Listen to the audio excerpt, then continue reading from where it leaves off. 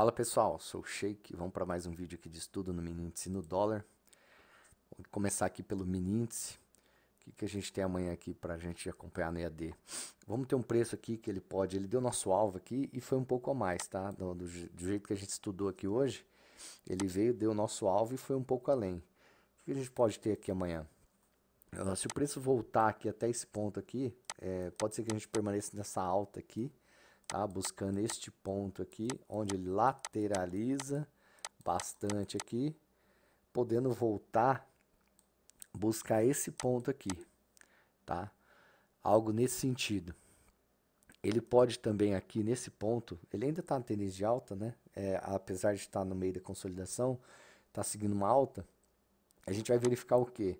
Se ele voltar aqui, segurar abaixo desse ponto, pode ser que a gente mantenha aqui, ó, uma consolidação nessa região aqui também, tá? Consolidação nessa região, voltando, testando esse fundo. Pode ser que ele venha rápido, pode ter um trade rápido de venda, sim, tá? Pode ter um trade de, realização a partir desse ponto aqui, ó, ele testar aqui, acumular um pouco, e a partir desse ponto que a gente tem um trade, um trade mais rápido de consolidação, ele voltar a lateralizar um pouco aqui no fundo, rompendo esse ponto, vir buscar esse ponto mais alto aqui, tá? A gente seguir nesse, nesse sentido aqui, tá? Sentir, seguir nesse sentido, é, sem ele estar tá rompendo esse fundo. Se romper esse fundo, a gente muda a tendência. Ultrapassando esse ponto aqui também a gente continua na alta. Caso contrário, esse ponto aqui ele pode fazer uma correção a, quando chegar nesse ponto até esse ponto aqui. Então a gente vai observar se o mercado vai estar mais rápido amanhã ou mais lento. Se ele abrir e ficar nesse ponto aqui, ele pode ficar muito tempo aqui lateralizando nessa região, tá? Ele fica muito tempo lateralizando até o que? Tomar uma tendência, tá? Testar e tomar uma tendência, buscar um, uma possível tendência de alta, ou ele voltar aqui e consolidar, tá? Novamente voltando testar essa mínima aqui. Basicamente isso aí no índice, tá? Os pontos aí e vamos dar uma olhada no dólar. Você que está é, se perguntando aí, nunca entrou no canal aqui, é, esse daqui é um canal de trade, a gente fala só mais de trade. Tem o link na descrição para você entender tudo isso aqui. Se você quiser estudar sozinho, tem o nosso grupo com entra aqui a descrição, está na descrição do vídeo. Para adquirir as plataformas também tem os links aqui embaixo da, das plataformas, de, dos, a playlist aqui. Se você é inscrito no canal, inscreva-se no canal e estude essas playlists que são para inscritos no canal e você consegue ver todos os vídeos que são só disponíveis para, para inscritos. Nosso treinamento online agora está finalizando as vagas, é só entrar no site www.shaketrades.com.br e para acompanhar todo dia aqui na sala com a gente também, www.shaketrades.com.br, nossa área VIP ali, EADB3. E vamos aqui no, finalizar aqui no, no dólar. Tá bastante linha, tá pessoal? É bastante linha porque aqui é o seguinte, a gente, eu tenho várias, várias estratégias, vários não precisa ser tudo isso aqui de linha, tá? Primeiro que quando gente, isso aqui a gente vê no longe.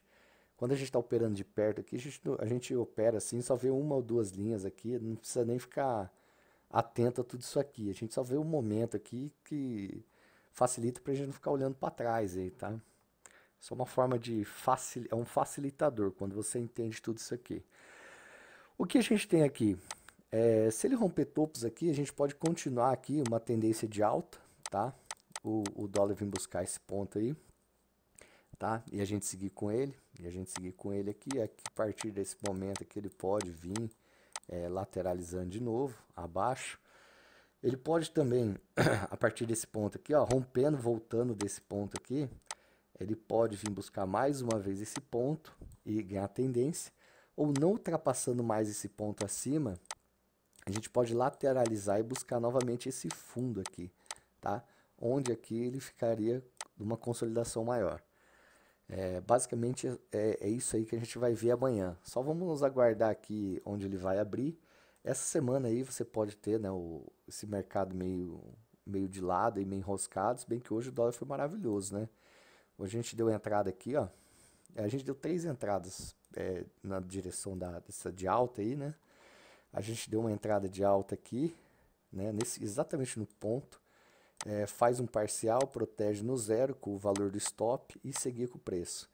A outra, a outra entrada estava exatamente aqui, tá? nesse ponto aqui. E essa foi perfeita até uma saída aqui. Ou se quiser entrar novamente aqui até testar um ponto aqui, era mais um trade. E, e no restante aqui era uma venda. Era uma venda nesse ponto aqui, que a gente esperou um alvo no 56, se eu não me engano. É, se não me engano era no 56 que a gente estava aguardando um alvo. E só que a gente tem essa opção, né, de, de fazer o parcial exatamente nesse ponto. Por quê? Porque o preço pode voltar no 0 a 0, você dá outra entrada, tá? Se ele não acabar não rompendo, ele pode ficar lateral, que foi o que ele fez. E é isso que a gente vai observar amanhã, onde ele vai romper. Se ele testa, rompe, segue tendência, ou se ele vem no fundo, rompe e vem buscar baixo. Por isso a dificuldade de, dessa decisão. Preço lateralizou, tá? O preço lateralizou observa claramente aqui que é, um, é uma zona neutra, até ele chegar na tendência. A partir do momento que ele chega numa tendência, a gente vai, ou rompe esse ponto, a gente vai buscar nossos alvos, nossa seguir tendência ou fazer essa nossa pequena reversão para ficar numa consolidação maior. Ok, pessoal? É isso aí. Vamos estudando, vamos melhorando e vamos para cima aí. Hoje, para quem entrou, quem entrar no IAD, quem estiver entrando, Assista os vídeos, tá? Assista os vídeos como preparar o gráfico, tem os conceitos iniciais, tem o nosso gerenciamento. Segue o nosso gerenciamento e vamos fechar um mês positivo. Tá? Se a gente segue a risca, a gente não toma aquele susto inicial, porque às vezes as pessoas entram muito empolgadas, todo, todo dia entra muita gente no EAD, então a gente tem que ter esse cuidado aí com vocês que querem entrar e fazer o dinheiro. Principalmente porque estamos nesse tempo aí difícil aí de pandemia e tudo mais, e o objetivo é a gente proteger, proteger nossa grana e fazer nós mesmos nossa, nossa grana, né? Mas vamos para cima, pessoal, vamos junto aí e vamos estudar. Valeu, abraço, compartilha, dá o like aí, e é isso aí. Um abraço, pessoal.